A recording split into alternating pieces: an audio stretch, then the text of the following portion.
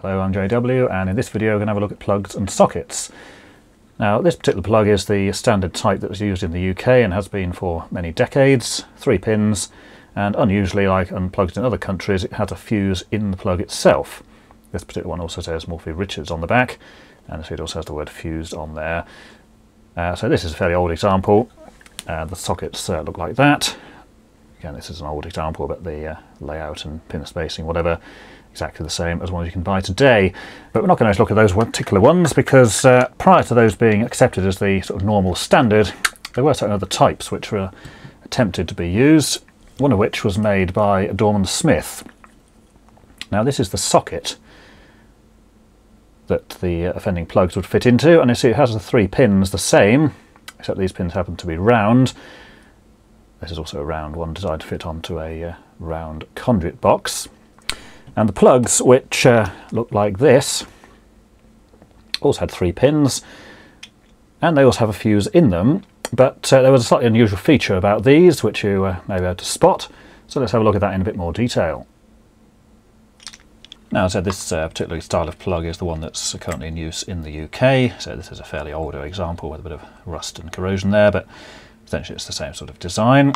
And the key function of these things is that inside there is a fuse a 13 amp fuse in this case, and uh, that's there primarily because the flex from the plug to the appliance can be fairly thin, and these typically will be plugged into a socket outlet on a 30 or 32 amp circuit.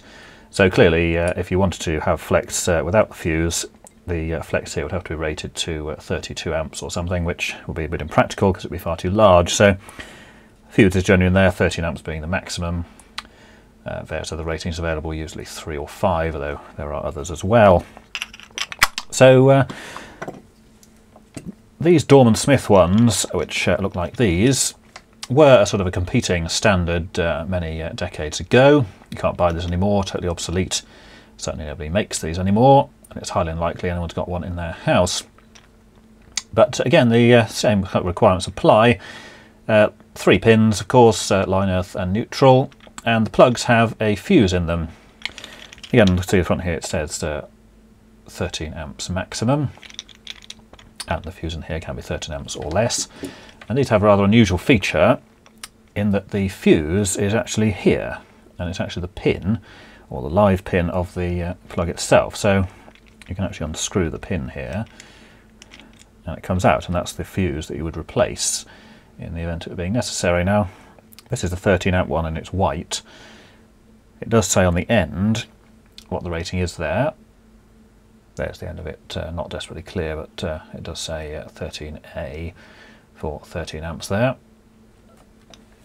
Now here's the plug itself, as it says 13 amp maximum, uh, patent number there, made in England, and model number of this one is a uh, M692, DS for Dorman Smith. Now the other pins are solid brass. The uh, neutral one here is just a cylindrical pin with a uh, slightly curved end.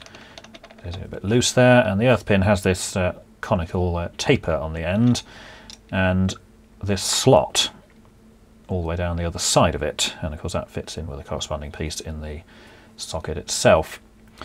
Uh, the fuses just have this threaded component on the end which screws in here and if you see in the bottom there there's actually a spring purpose of that spring being to apply a bit of pressure to the thread so it will prevent the thing uh, accidentally unscrewing.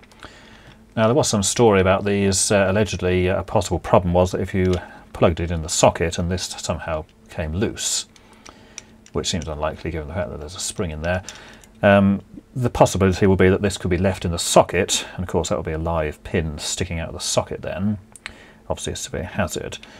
Whether that actually happened or not is another matter. It certainly sounds like one of those uh, rumours, which uh, in theory sounds plausible when you actually look into it. It isn't because, uh, say, the whole point of that spring being in there would be to prevent it unscrewing accidentally. So let's just have a look inside. This is just secured with two screws. And of course, unlike the uh, types used today, you wouldn't have to actually undo this unless you were, in fact, replacing the wiring. So just two brass screws hold it together. Inside there, fairly straightforward. There's the uh, earth pin there, just solid brass, single screw in the end. Neutral pin again is just a solid brass component with the uh, hole for the wire on the top. And the fuse there obviously screws into this block, which contains uh, just a threaded hole there, side port there for the cable and a screw to clamp the cable. And then the spring component there just sort of sits between the two and again provide that pressure on the thread so that uh, it wouldn't actually unscrew accidentally. Other than that, just the uh, flex will come at the bottom and a simple sort of bar clamp there just to secure the flex coming in. And if you look inside here, we've got the neutral and line marks with N and L. It has the instructions about removing the pins to wire, which of course make it much easier. Just take the pin out, put the wire in, and then put the pin back in, clamp the flex underneath. The earth is not marked uh, with the E letter. However, given it's the third one, then uh, pretty obviously it's the only wire you've got left over. Now the pin on this one is white, uh, as you can see there. It's a brass end and the middle is made out of very hard uh, ceramic material. It isn't something that's going to just break or snap off easily. And so this is a 13 amp one. I do have a few of these and they've all got the same uh, white fuse in there, 13 amps. Now allegedly there were some other values of these, uh, some I think were red, possibly for the 5 amps. I've never actually seen one. I say these are fairly uncommon items anyway. Uh, these are actually all the same model. There's just another example there. They've all got the uh, DS logo on the back there. And of course fuse, because at the time when these were introduced, most other plugs did not have a fuse in.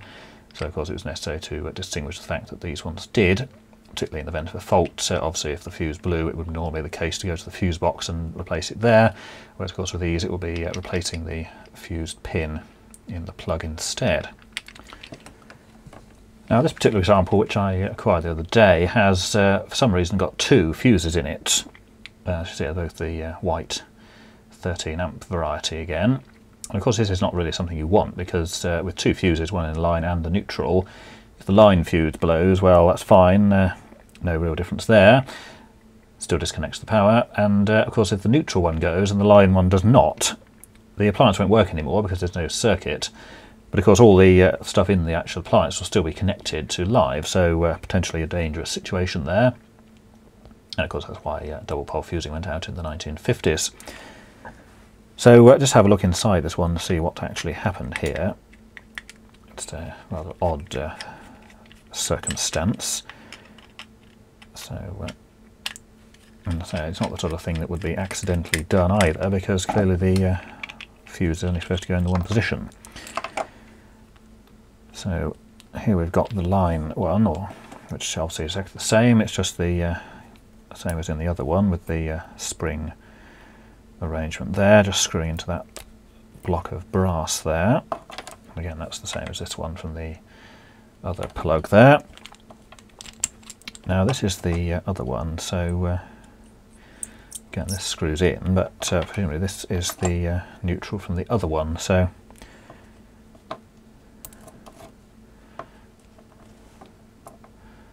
right, so what we've got there then, they've obviously undone this piece here, which presumably was separately made to the uh, block there, presumably with a fair amount of effort because that doesn't just unscrew, of course.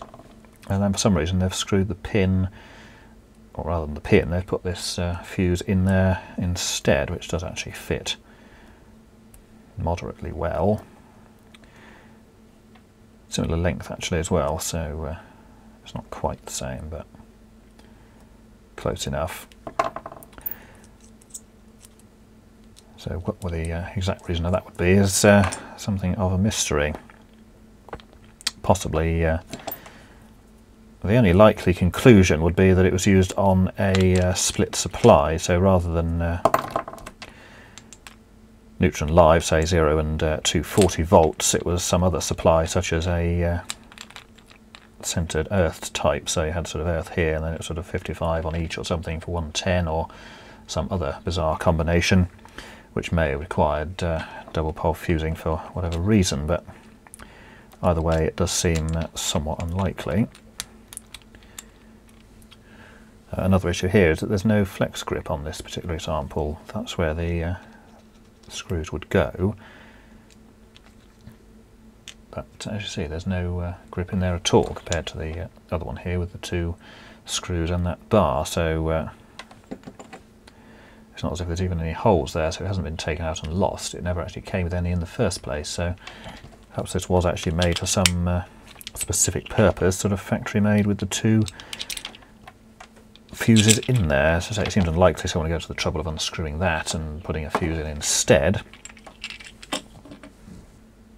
Well, here's an example of a socket, uh, obviously, to go with that plug. Let's see just the three uh, round holes there, and the uh, DS logo on the bottom there. And in a similar vein to these uh, current types we use now, they do have the uh, shutters over the line and neutral holes, and uh, so does this one. Very simple mechanism, obviously it's covered up there, and the you'll see in there the half of the piece there, so when the pin is inserted, the plug, it will obviously push that sideways and open up the holes like that. It exposes the uh, socket tubes there in the bottom.